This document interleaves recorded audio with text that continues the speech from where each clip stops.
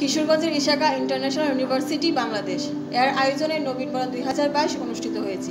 আজ সকাল এগারোটায় বিশ্ববিদ্যালয় সভাকক্ষে নবীনবরণ অনুষ্ঠানে বিশ্ববিদ্যালয়ের উপাচার্য প্রফেসর ডক্টর প্রিয়ব্রত পালের সভাপতিত্বে অনুষ্ঠানে প্রধান অতিথি হিসেবে উপস্থিত ছিলেন বিশ্ববিদ্যালয়ের ট্রাস্টি বোর্ডের ভারপ্রাপ্ত সভাপতি প্রফেসর ডক্টর আ নমন ঔষধ খান। অনুষ্ঠানে বক্তব্য রাখেন ট্রাস্টি বোর্ডের সদস্য ও রাষ্ট্রপতি আব্দুল হামিদের ছোট ছেলে ব্যারিস্টার রিয়াদ আহমেদ তুষার। বিশ্ববিদ্যালয়ের ট্রেজারার প্রফেসর অনিল চন্দ্র সাহা, আইন অনুষদের dean professor Rafiqul Alam, registrar ভারপ্রাপ্ত চৌধুরী খাইরুল হাসান, সরকারি মহিলা কলেজের অধ্যক্ষ প্রফেসর হাবিবুর রহমান, গুরুদয়াল সরকারি কলেজের উপাধ্যক্ষ প্রফেসর মোহাম্মদ মুস্তাকুর রহমান প্রমুখ। এরকম কিন্তু ইউনিভার্সিটি হচ্ছে, অনেক ইউনিভার্সিটি আমরা হচ্ছে প্রথম থেকে সেটি খুব স্বচ্ছতার সাথে এটি পরিচালিত হচ্ছে।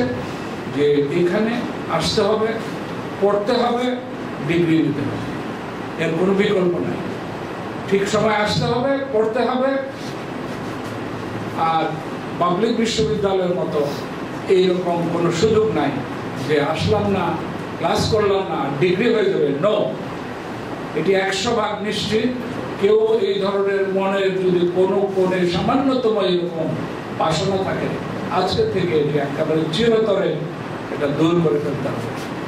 এটি বিশ্ববিদ্যালয়ে চলুক আর নাই চলুক, কিন্তু পড়াশোনা করতেই হবে। ছাত্র থাকুক আর নাই থাকুক, পড়াশোনা হবে, এখানে ডিগ্রি হবে। সব কিছু তার দরকারটা কি? তোমাদের এই বয়স বুদ্ধিটাকে যথাযথভাবে ব্যবহার করা। তোমরা যে যতভাবে ব্যবহার করতে পারব সঠিকভাবে তোমরা সাকসেসফুল হবে। এবং একটু আগে বলা হলো এখানে যে আমরা এখন সবাই নিজস্ব রাখে না, যে আমরা এখন বৈজ্ঞানিক যুগে, আমরা এখন বাস করতেছি। মোবাইল, ইন্টারনেট আমাদের সবাই হাতে আমরা কিন্তু সে সুযোগ পাইনি। আমাদের বহু কষ্ট করতে হয়েছে। আমাদের লাইব্রেরি থেকে লাইব্রেরি দৌড়াদৌড়ি করতে হয়েছে।